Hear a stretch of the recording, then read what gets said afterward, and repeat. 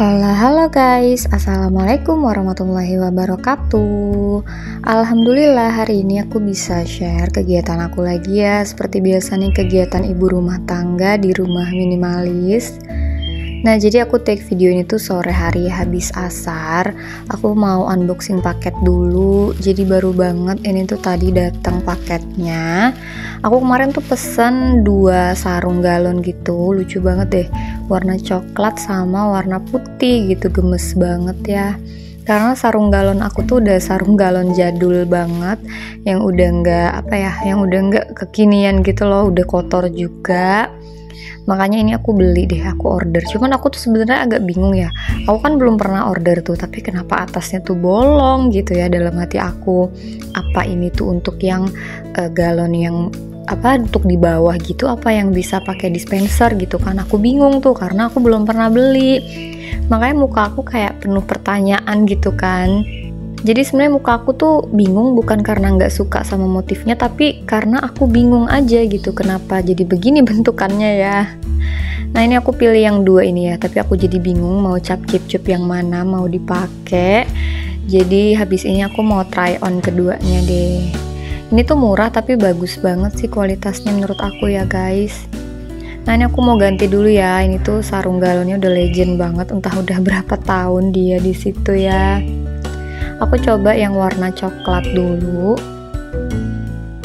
Nah tapi ternyata memang kayak gitu ya. Ntar pas udah sampai dipasang tuh dia rata lagi gitu. Oh lega deh itu. Makanya mata aku ke situ mulu gitu kan Ih gemes banget Suka banget gitu. Suka deh Saking gemesnya sampai aku peluk nggak tuh si galon ya. Nah ini aku mau coba lagi yang warna putih. Jadi ini bisa buat ganti-gantian sih. Bisa aku pakai yang putih bisa juga aku pakai yang coklat. Nah ini aku mau pasang dulu untuk yang putih. Sebenarnya kalau pas belum dipasang tuh kayak kecil gitu loh. Aku mikir ini muat apa enggak ya gitu. Tapi ternyata pas udah dipasang itu ternyata muat ya gitu. Emang segini ukurannya kan. Nah ini bentar lagi udah kepasang. Nah menurut kalian gimana nih guys? Lebih bagus yang warna coklat apa yang warna putih nih? Aku pakai nih cuman sementara karena udah kepasang yang putih itu aku pasang yang putih aja. Ntar kalau udah kotor atau udah bosan baru deh aku ganti.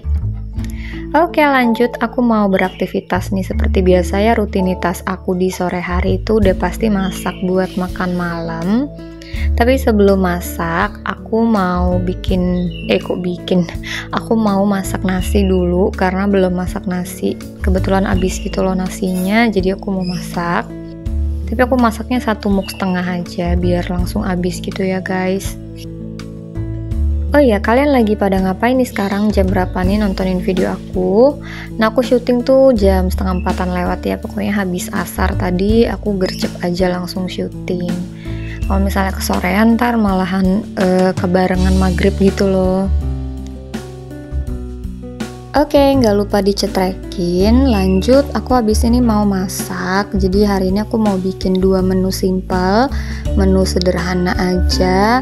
Aku kemarin udah ada beli sawi sama kol. Jadi ini mau aku tumis aja sih, tapi dibikin berkuah gitu guys. Cuma nggak aku pakai semua, aku paroin karena kayaknya kebanyakan sih ini ya. Nah ini mau aku potong-potong dulu pokoknya ini uh, potongnya tuh nggak beraturan ya. Pokoknya kalau aku motong-motong sayur tuh kayaknya ilmunya nggak ada gitu. Pokoknya teorinya nggak ada. Yang penting pas udah dimasak tuh dia nggak kegedean nggak kekecilan gitu kan. Nah kalian hari ini masak apa nih guys? Boleh ya di share di kolom komen aku. Nah untuk kolnya udah beres nih aku potong. Sekarang si sawinya mau aku potong juga sebenarnya aku tuh nggak yang doyan-doyan banget sawi. Aku lebih sukanya tuh pakcoy cuman karena kemarin tuh adanya sawi ya udah deh nggak apa-apa. Ini aku potongnya agak kecil dikit biar dia nggak terlalu pahit kan. Oke, okay, untuk perbumbuan aromatiknya aku pakai bawang merah sama bawang putih aja. Nah, nanti aku mau tumisnya itu pakai uh, minyak bawang putih yang udah aku bikin kemarin itu ya. Nah, kalau kalian belum nonton, boleh ya nonton di vlog sebelum ini. Oke, ini aku siapin dulu wok terus aku masukin deh ini minyaknya.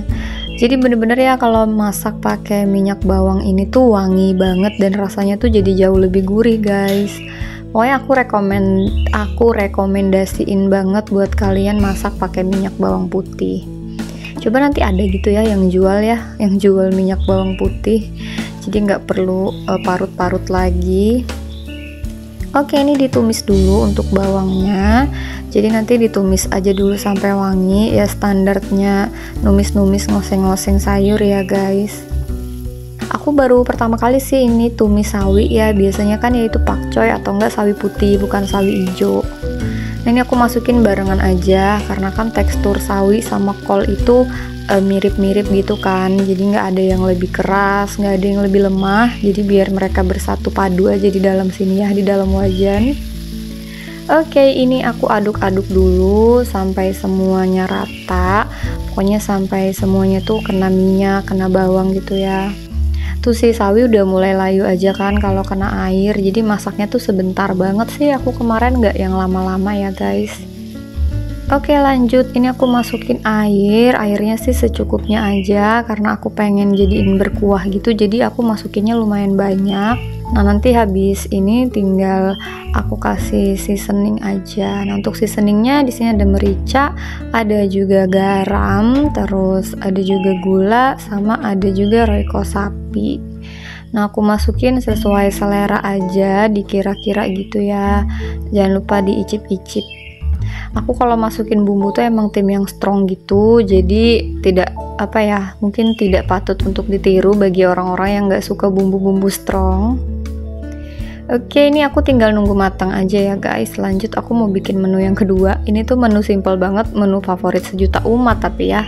Karena aku emang belum beli ayam gak ada stok lauk pauk jadi aku mau bikin telur dadar aja sebenarnya tadi mau pakai telur dadar bawang, daun bawang gitu tapi ternyata daun bawangnya udah layu nggak bisa dipakai. Akhirnya nggak jadi ya udah telur dadar murni aja telur dadar biasa ya guys. Nah ini mau aku oseng eh kok oseng?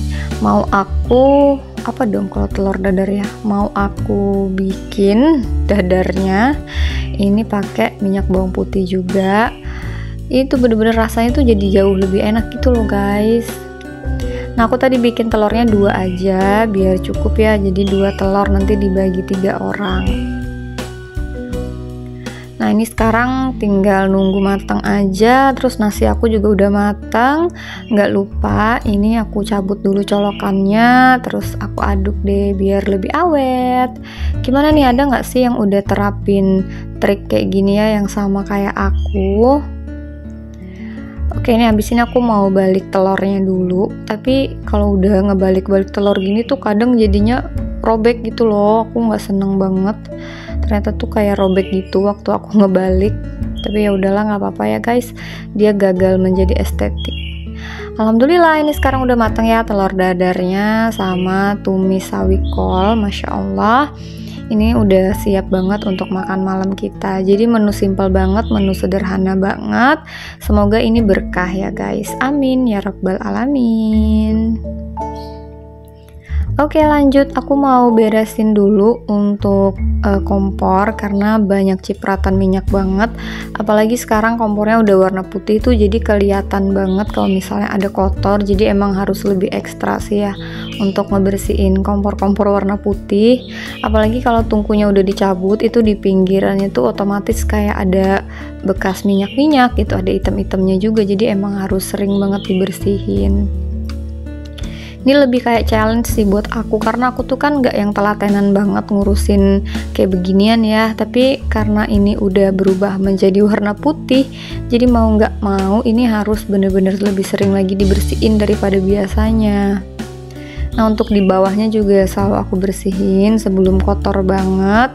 Jadi nggak terlalu banyak yang harus dilap gitu kalau udah dibersihin sering-sering kan Oke udah selesai aku balikin lagi nih untuk pertungkuannya. Lanjut.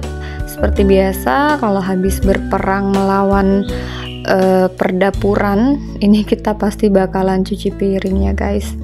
Dan ini tuh nggak muat karena uh, besar-besar gitu loh yang dicuci. Kalau udah ada perwajanan ada teflon itu biasanya borongan dicucinya tuh bakalan rebutan gini rebutan posisi aku tuh kadang kalau ngeliatin video aku gitu ya kayak ngedit-ngedit lagi aku tuh ngerasa kayak ih kok bisa ya? Gitu sambil bebenah sambil beberes gitu sambil ngevideoin bahkan sampai pindah-pindahin tripod gitu. Kadang-kadang ngerasa keren juga nih gitu ya narsis banget nggak tuh? Sebenarnya bukan gimana-gimana ya kayak ini tuh nggak semua orang kan maksudnya kayak rajin buat ngevideoin gitu loh. Jadi aku ngerasa kayak ini tuh effort banget sih nggak main-main ya untuk nge-youtube gini tuh. Jadi kayak apa ya? Mungkin emang cuma kerjaan ibu rumah tangga tapi aku bangga gitu loh aku bisa di posisi ini. Kadang ngeliatin lagi eh, video-video aku tuh kayak ya ampun aku sekarang udah jadi ibu ya gitu. Udah bisa nih aku ngurusin rumah aku sendirian gitu Nah aku lanjutin lagi ke kamar karena kita tadi tuh habis tidur siang kan. Sebelum asar itu kita tidur siang. Jadi aku belum ngeberesin selimut. Ini juga Dava masih loncat-loncatan ya di atas kasur jadi ini aku cuma ngelipetin selimut aja. Kalau kasurnya nggak aku kenceng-kencengin tadi cuma aku kencengin dikit. Nah lanjut aku mau nyapu rumah dulu ya guys. Sebenarnya tadi pagi udah disapu tapi ya seperti biasa kalau nyapu rumah tuh nggak bisa yang sekali gitu loh. Pasti kayak berkali-kali sehari. Eh berkali-kali sehari. Oh ya bener berkali-kali sehari makanya aku biasanya lebih milih tuh nyapu sore. Jadi udah ya udahlah sekali aja gitu sekalian sore. Cuma karena tadi pagi tuh uh, emang lagi kotor banget jadi ya udah tadi pagi disapu ini sore disapu lagi tuh banyak rambut nggak tuh. Tapi aku makanya aku bilang kalau pakai sapu ini tuh debunya nggak terbang-terbang kan. Jadi kita bisa nyapu dari segala arah gitu mau di belakang dulu mau di tengah mau di depan. Pokoknya yang mana yang kotor itu deh yang kita sapu kan Nah aku sapuin sampai ke ruang tamu juga Terus aku nyalain juga ini lampu akuarium ya Sama lampu yang kuning Karena ini tuh udah jam 5an gitu Dan seharian ini tuh mendung hujan gitu ya. Pokoknya kalau nggak mendung hujan Mendung hujan gitu aja Jadi adem banget.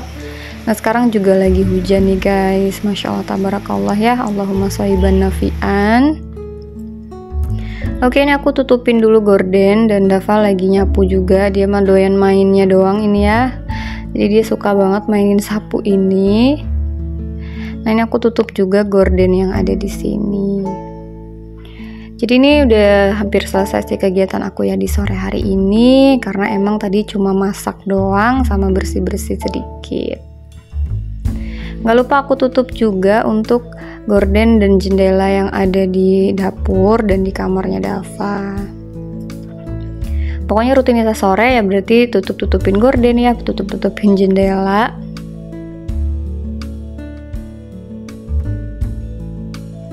Nah oke okay deh guys, kayaknya segitu aja nih kegiatan aku di sore hari ini. Semoga bermanfaat untuk kalian. Jangan lupa untuk selalu dukung channel aku dengan cara like, comment, dan juga subscribe. Thank you for watching. Wassalamualaikum warahmatullahi wabarakatuh.